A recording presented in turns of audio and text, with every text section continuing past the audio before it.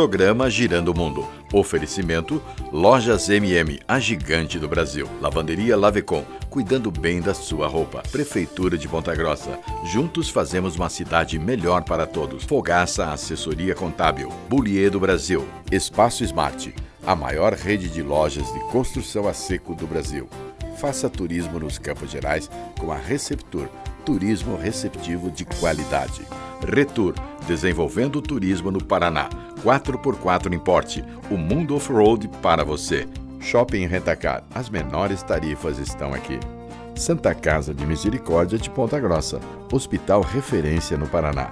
Adega Imperial, distribuidora de bebidas e apoio total a eventos.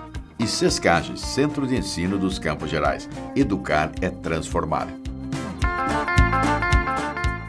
Olá, amigos, boa noite. Estamos iniciando mais um Girando Mundo e já vamos começar aí com uma excelente notícia. Acabamos de receber aqui lá da Assessoria de Comunicação da Prefeitura de Ponta Grossa e que mostra que o nosso Aeroporto Santana recebeu agora em março 1.558 pousos e decolagens.